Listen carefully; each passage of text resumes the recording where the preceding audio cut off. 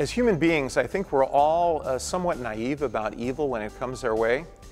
And in this story, Diet Eman shares her life and how evil really surprised the people of the Netherlands as Adolf Hitler and his plans for the Third Reich came into the Netherlands. Uh, join me as we talk with Diet and listen to how evil came into their country and how, even though Hitler had explained all of these things ahead of time, people were not ready for when it came their way.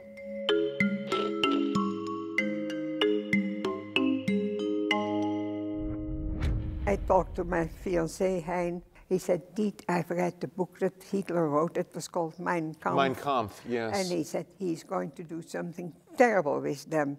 But we had no idea. Now, now this is an interesting thing too, Diet, because he had read the book, and, and of course in Mein Kampf there was really discussion of all of these things, and you kind of wonder why didn't people believe what he wrote in the book? You know, because he said many of the things that he ended up doing. Most people didn't even read the yeah, book. Yeah, most people didn't even know what was coming. They didn't even read the book. Yeah, they did I not. Know. But the people are blind now also. What is all happening? And I mean, they're blind. Yeah, yeah. Absolutely. The majority. Yeah, people today, do you think that the parallels are just the same? People don't realize or, or know what's happening, right? They just no. don't know. And there were also churches that uh, said, it says in the Bible clearly you have to obey your authorities. So they felt that they had to do what the, what the government, the Germans said, the Nazis. And uh, we felt, and that was another group, and that was really the group that caused the resistance. The Queen, Wil yes. uh, that was Wilhelmina. Queen Wilhelmina, yes. With the whole government, she had fled to England. Okay. And when we heard that first, we were terrible, sad, and angry because I've in the diary of my husband, of, of Hein, he was so angry that a mother doesn't leave right, her to leave her children behind, you must have felt like orphans, you Yeah. know, like you had been Your abandoned mother by your mother, But then it was so totally different when you, later that it became the whole government left. Yes. And in the Netherlands, the royalty is always crowned by the grace of God.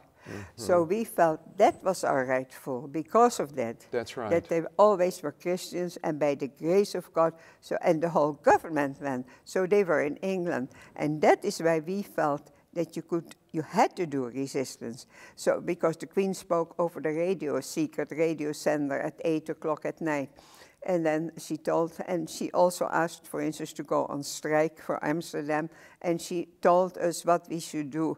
So we felt that was our rightful government. Yes. And that is how the resistance came. Yeah, so the Queen actually went to England and then she began broadcasting from England, secret broadcasts that were going across, and you would listen to them in the Netherlands. Now, did the Nazis, did they, did they forbid this? I Yeah, mean, you went to jail if you so, were so caught. other, if you were caught listening to the radio, you would go off to jail, yes. because when we had it on, then there was no TV. If you had the radio on, then it was very soft and you sat like that.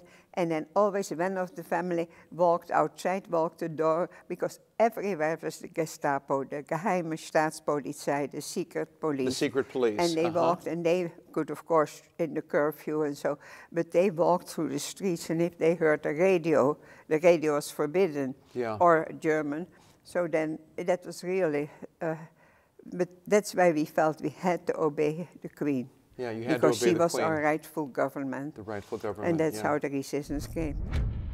As I was listening to Diet Eman share about how the people of the Netherlands were surprised during the Second World War about Hitler and his plans, the amazing thing that stood out to her, and I think should stand out to all of us, is that Hitler, long before the war began, had written about all of the things that unfolded during the war in Mein Kampf. And so, in a way, people had been warned. There, there was information out there. There were things that they could have studied or learned or read and gotten ready for what was coming. And yet, the people in the end largely did not. And so the story of what happened to Diet Eman and what happened during the Second World War, I think is a challenge for all of us today in thinking about watching leaders, listening to what people say, and recognizing that oftentimes we ignore things that people are saying or doing, perhaps because we don't want to know, but that we need to be engaged, We need to understand what people are wanting to do, what they're saying, and hopefully being wiser so we can protect ourselves and others from things that come our way. And I think Diet's story is, is a warning, I think, for our generation to be careful and discerning about everything that we see going on today.